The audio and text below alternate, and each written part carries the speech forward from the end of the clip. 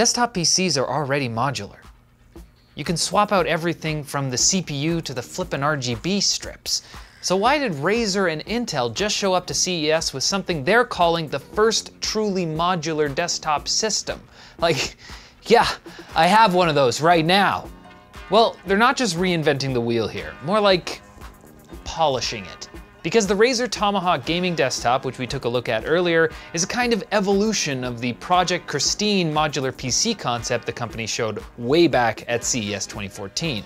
But why wait six years to bring the concept back? Oh baby, we're gonna find out. But after this message from our sponsor, Pulseway. This year, all of LTT's CES 2020 coverage is powered by Pulseway, the software that lets you remotely monitor, manage, and control all your Windows, Mac, and Linux machines from one app. Create a free account and get 20% off their Teams plan now at the link below.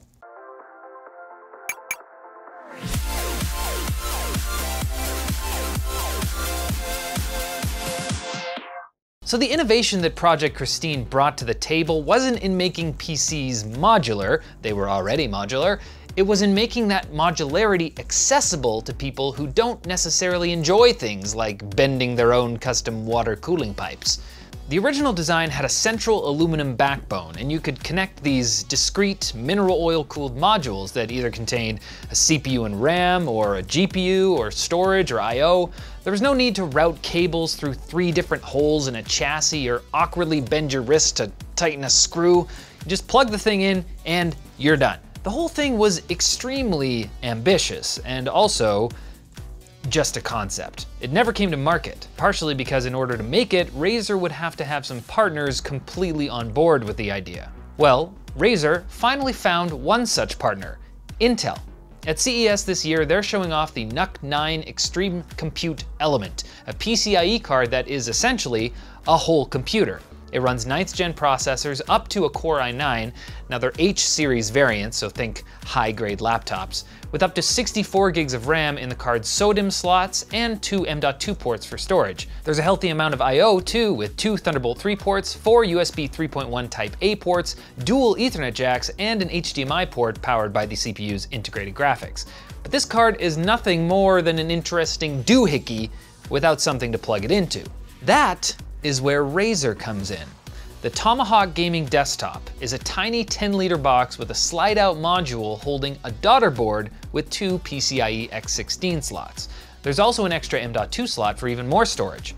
The idea is you plug your NUC compute element into one of those PCIe slots, a full-size desktop graphics card into the other one, and slide that whole thing inside the N1 chassis, a beautiful 10-liter aluminum case with tempered glass side panels and dual 120mm fans on the top for ventilation. It's a completely toolless setup. You just have to release the sled with a lever on the back to remove it, and the only actual cables you have to deal with are the plugs that connect the compute element and graphics card to the built-in SFX power supply.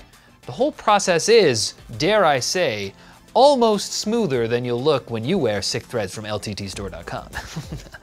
and this is what Razer and Intel mean when they say truly modular. Because if you have to unscrew things and wipe off thermal paste and reroute cables, I mean, that's more like rewiring your vacuum than it is clipping on the carpet attachment. And yeah, some of us like that whole process of tinkering with the guts of the machine. Stop, stop, stop, stop, stop, stop, stop, I'm stopping, I'm stopping. Uh, there's, there's a really big leak. But others want the ability to upgrade parts without having to take off an entire side panel and get in there with a screwdriver. Now, obviously, in exchange for that ease of use, you are giving up some benefits of a full desktop PC. The CPU and RAM, as I said, are high-end laptop parts, and you'll lose some PCIe bandwidth if you choose to fully populate the three available M.2 slots in the system. But for a certain segment of the PC gaming population, this could be a much more accessible entry point while still allowing easy upgrades later on.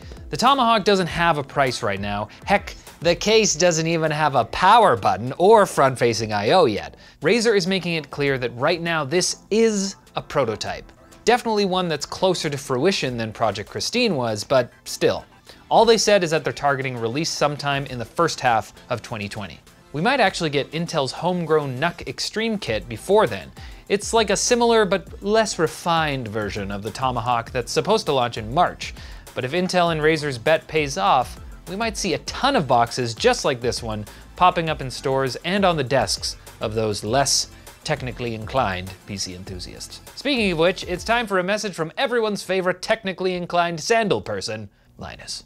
The only thing I love more than sandals is working remotely. I'm not even at CES 2020. I'm right here next to the server, so theoretically, I actually wouldn't need Pulseway right now, but my team could use it. Pulseway is the real-time remote monitoring and management software that helps you fix IT problems on the go by sending commands from any mobile device. So get your sandals on, kick back, and get Pulseway working for you, for free can try it out for free, guys. And with our link below, you can get 20% off their Teams plan for you and your business. Thanks for watching, guys. Love you so much.